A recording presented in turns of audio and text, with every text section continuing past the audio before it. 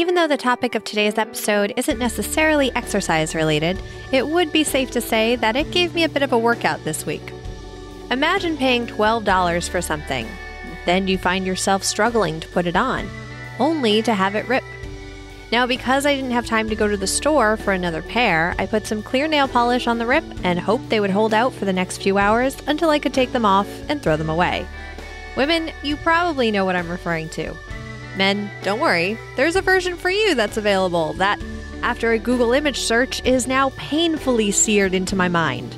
You're listening to The Story Behind, the extraordinary history of the ordinary. I'm your host, Emily Prokop, and this is the story behind pantyhose. By the way, the men's version is lovingly referred to as mantyhose. But first, a quick message. Want a visual element to the story behind? Make sure you're following the story behind on Instagram for behind the scenes pictures, fun facts from the week's episode, little story behind field trips, and callbacks to past episodes. One of my favorite things to post are the book sightings of people holding the story behind book. So if you have a copy, please take a photo and tag me so I can repost it in my stories and highlights. There are a few other exclusive goodies over on Instagram, so be sure you're following Story Behind Pod. I can't start to talk about pantyhose without first talking about stockings. Now, the history of stockings goes back pretty far. So we're just going to skip ahead to 1930s when researchers at the DuPont company were working with polymers to create something similar to silk. When they found that one of their mixtures was able to be stretched, the age of nylon emerged. It was marketed as strong as steel, as fine as a spider's web, and originally used for fishing line and toothbrush bristles, which we talked about in the story behind the toothbrush, and surgical sutures. But as they progressed in testing this new material, they realized it could be used to make stockings for women. A fun fact about nylon is that DuPont chose not to register it as a trademark. Instead, they wanted the word nylon to become associated with stockings and even used interchangeably, which some still do. Once they demonstrated nylon in nylon stockings at the 1939 New York World's Fair, they caught on quickly. Even though it was a breakthrough in science, DuPont Vice President Charles Stine didn't showcase it to the scientific community at the fair. Instead, he decided to unveil it to 3,000 Women's Club members. Nylon went on to do more than just make a cheaper, easier way to make stockings, like they made parachutes and tents for soldiers during World War II with it. Although stockings became harder to find in America at that time. Women began drawing lines on the back of their legs with makeup pencils to make it look as if they were wearing stockings, since back then the stockings had seams. But when the war was over, stocking sales jumped quickly. As I mentioned, the full history of stockings goes much further back in history than pantyhose. Stockings were made by weaving silk, linen, cotton, and even wool. The word stocking comes from the base word stock, which refers to the bottom of a tree or the stump. Before DuPont introduced nylon stockings, the garment was used for an added layer of warmth for women under skirts and dresses. But like its predecessor, nylon stockings still had to be held up by garters or garter belts. For actors and dancers in movies, television, and on stage, sometimes the stockings were sewn to briefs to make moving easier without worrying about the stocking slipping. Pantyhose, though, is most commonly attributed to Allen Gant Sr., the head of Glen Raven Mills, a textile company. But we can actually thank his wife for the inspiration. According to Gant's son, Gant's wife Ethel was on a train back to their home state of North Carolina after taking a trip to see the Macy's Thanksgiving Day Parade, when she told her husband it would be her last trip with him while she was pregnant, since she was finding herself uncomfortable wearing stockings and her garter belt. This was 1953, a time when proper women were rarely seen without some sort of hosiery.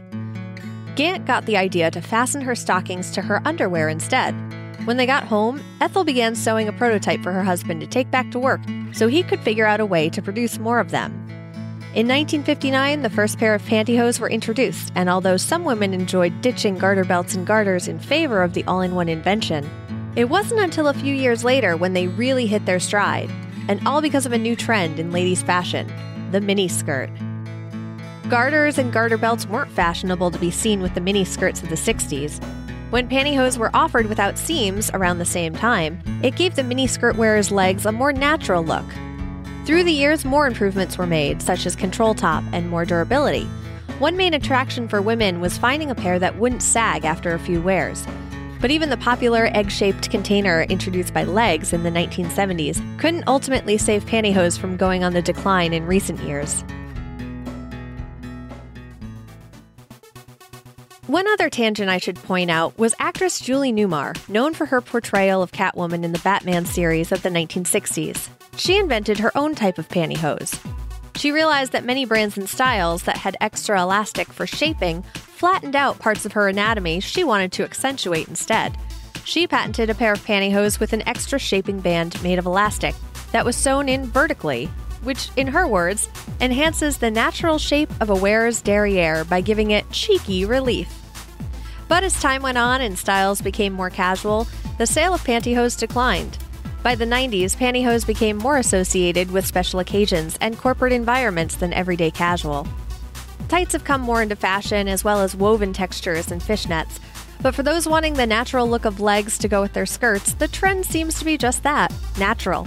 Michelle Obama, who stands at 5 feet 11 inches, has said she gave up on them years ago when they continuously ripped as soon as she would put them on. I'm 5'8 Michelle and I still feel your pain. Information for this episode was sourced from Smithsonian, ThoughtCo, Racked, and more links which can be found in the show notes at thestorybehindpodcast.com. This week on Trivia Tuesday in the Story Behind discussion group on Facebook, Jeffrey posted Photograph was the title of a Billboard Hot 100 Top 20 song for Ed Sheeran, which peaked at number 10, Nickelback, which peaked at number 2, Def Leppard, which peaked at number 12, and Ringo Starr, which peaked at number 1. Adam posted Under French copyright law, it is technically illegal to take pictures of the Eiffel Tower at night.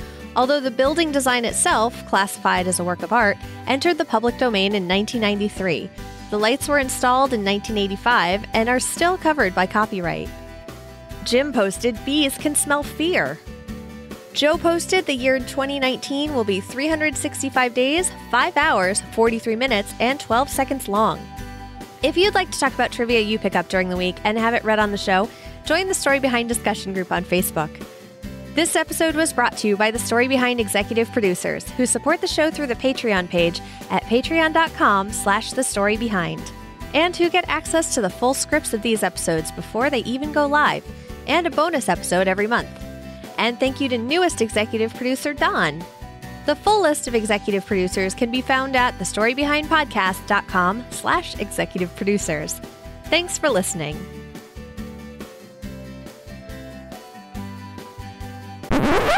Okay, I don't know where else to put this information for the episode, so I'm putting it at the end. In Grand Haven Township in Michigan, pantyhose has become an ongoing problem for some residents, particularly that for five years, pantyhose has been discarded on the roadways and no one can figure out why. if any listeners want to make a new mystery podcast, this would be a great story to take and run with. Get it? Pantyhose, run with.